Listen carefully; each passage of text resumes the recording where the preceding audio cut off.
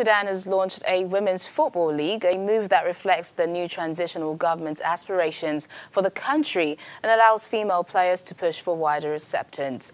Under the post president Omar al Bashir, who was toppled in April after months of protest, Sudan was governed using a strict interpretation of Sharia law and largely neglected women's participation in sports.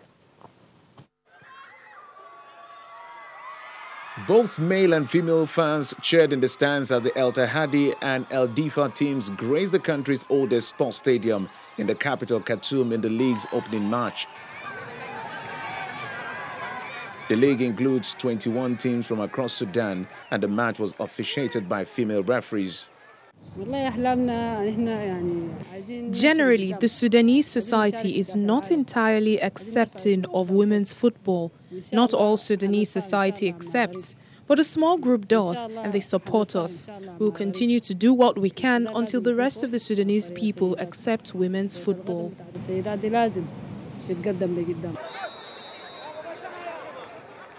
A past attempt at an unofficial women's league featured only three Khartoum teams. As we all know, women's football has been historically fought against, and not only in Sudan, it was global. In Sudan, it was more restrictive, but we have the political will so that from now onwards, women's football would be one of the pillars of development and an integral part of the state's policies.